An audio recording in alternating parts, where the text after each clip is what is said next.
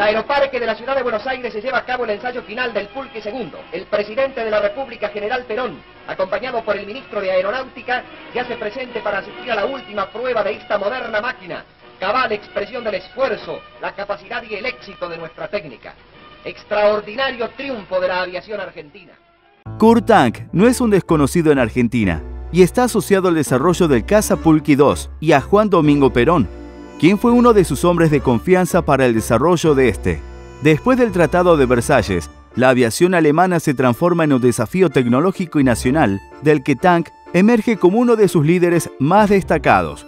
Alumno de Albert Einstein, consumado piloto de pruebas y director técnico de la compañía Focke-Wulf. Su talento técnico y sentido de la oportunidad lograrán que el gobierno nacional socialista lo adopte como uno de sus diseñadores favoritos.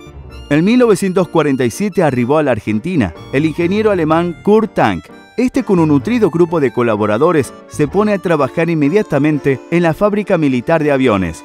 Tras reunirse en dos oportunidades con el presidente de la República, Perón, Tank se interioriza sobre las necesidades en materia aeronáutica que el gobierno tenía, para lo cual contaba con un sueldo importante de dinero del denominado primer plan quinquenal, elaborado por Perón a su llegada al gobierno.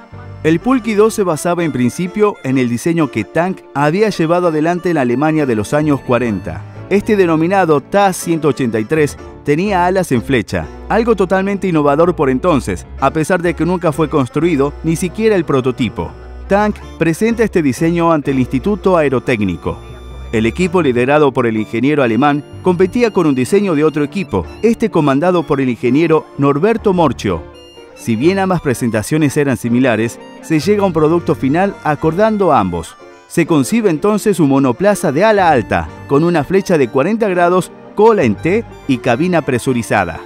El desarrollo del nuevo aparato, denominado Proyecto IA-33, se inicia con una maqueta en el túnel de viento a fines de 1947. Para inicios del siguiente año se decide fabricar un planeador de madera.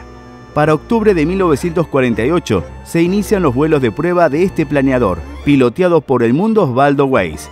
El planeador era remolcado por un Martin 139. En 1949 se inicia la construcción de dos prototipos, uno para pruebas estáticas y de fatiga de material, denominado 01, y el otro el 02, en el que se instala un turboreactor Rolls-Royce Nene 2. Así equipado este aparato, levantó vuelo el 16 de junio de 1950, piloteado por Emundo Weiss. El vuelo tuvo una duración de 28 minutos. El 8 de febrero de 1951 se presenta el avión en el aeroparque Jorge Newbery al presidente de la Nación y decenas de invitados y público asistente. En total se fabricaron cinco prototipos, cuatro volaron y el quinto fue el empleado en pruebas estáticas. En 1953 se produce un intento de golpe de Estado. Tras esto, Perón nombra como ministro de Aeronáutica al brigadier Juan Ignacio San Martín y a Edmundo Weiss como secretario. El programa Pulqui 2 tenía su continuidad asegurada. Lamentablemente en 1955, un nuevo intento de golpe logra su objetivo, derrocando a Juan Domingo Perón.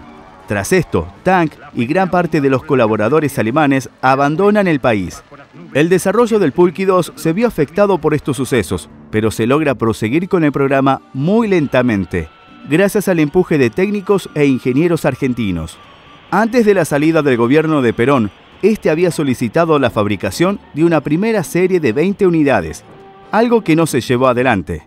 En octubre de 1956, el entonces brigadier Arens consulta al ingeniero Pablo Guillot, a cargo del programa, qué posibilidad había para fabricar y entregar a la Fuerza Aérea 100 ejemplares. Esto tampoco prosperó. Para finales de la década del 50, todo el programa estaba paralizado. Entre otras cosas, el pabellón que debía fabricar el turboreactor Nene en el país, licencia otorgada por Rolls-Royce, fue desmontado la posible entrega de 100 North American Saber a la Fuerza Aérea Argentina sirvió de estocada final al programa, aunque tampoco llegaron esos 100, apenas fueron 28. El último vuelo, prototipo 5, se efectuó en 1959. Luego el programa fue cancelado, la época del pulqui había pasado. Tal vez si se hubiese entrado en servicio a mediados de los años 50, como estaba previsto, se hubiese transformado en un gran avión. pero para fines de esa década, la aeronáutica había evolucionado de tal manera que los cazas de entonces duplicaban la velocidad del sonido, dejando obsoleto a nuestro Pulky 2. Hablemos un poco sobre el primer prototipo que es realmente una locura su nivel de construcción. El primer prototipo en volar, equipado con el turboreactor Rolls-Royce Nene 2, realiza su primer vuelo, comandado por el Mundo Waze en junio de 1950. Al día siguiente, piloteado por Otto Behrens, efectuó una toma dura, por defectos en un amortiguador. La aeronave rompe el tren de aterrizaje, saliendo ileso el piloto. El prototipo es reparado, instalándose nuevos amortiguadores y se le efectúan modificaciones al timón de dirección para corregir un mal comportamiento lateral en vuelo. Modificado, el prototipo levanta vuelo el 23 del 10 de 1950, comandado por Kurt Tank, piloteado por él mismo. El 8 del 2 de 1951, el Pulky 2 hace su presentación en Buenos Aires ante el presidente Juan Domingo Perón. En abril de ese año, el ejemplar es presentado al príncipe Bernardo de Holanda, que había manifestado su interés del gobierno de los Países Bajos por el avión. En mayo, el aparato es evaluado por pilotos de la Fuerza. En uno de estos vuelos piloteado por el capitán Bedania Manual, tras una maniobra exigida, el Pulky pliega una de sus alas precipitándose a tierra, Manual logra eyectarse, pero fallece ya que el avión estaba invertido. Estudios posteriores permitieron establecer que el accidente se debió a un defecto en la soldadura de los pernos de sujeción. Tercer prototipo, fabricado para mayo de 1952. A este se le incorporan frenos aerodinámicos, mayor capacidad de combustible y nuevo timón de dirección. El 9 de octubre de 1952, el aparato, piloteado por Otto Behrens, se estrella contra el suelo tras la salida de una barrena de cola. Behrens fallece instantáneamente. A su sepelio concurren sus amigos Kurt Tank y el as de la aviación alemana, Hans Rudel. Para 1953 se termina el cuarto prototipo. A este se le agregan barreras de capa límite en la parte superior de las alas. Se le instalan los cuatro cañones de 20 milímetros, previsto en el proyecto, también una cámara de video y se le dota de la cabina presurizada. Con este avión, el capitán Jorge Conan Doyle alcanza una velocidad de 1080 km por hora en una picada y logra el techo máximo de 13.500 metros. Tras los sucesos de 1955 y en un intento por reflotar el programa, en 1956 el primer teniente Rogelio Balado realiza un vuelo de demostración entre Córdoba y Buenos Aires. A su llegada a Morón, realiza una prueba de tiro su aterrizar pone proa nuevamente hacia Córdoba, pero un problema de entrega de oxígeno en la cabina produce un estado de hipoxia avalado. Este realiza un aterrizaje de emergencia en Córdoba. El aparato resulta destruido pero el piloto sale ileso.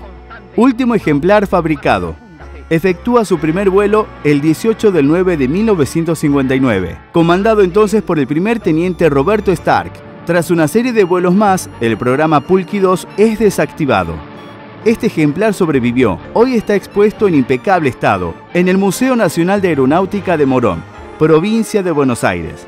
Espero que esta historia te haya gustado y si fue así, colabora de forma gratuita dejando un comentario. No te cuesta nada.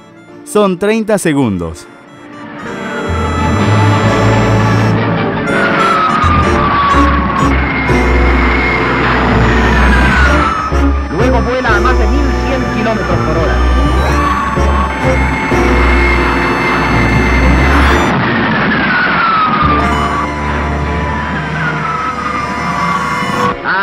De ayer se ha convertido en un magnífico presente, bajo la inspiración del general Perón.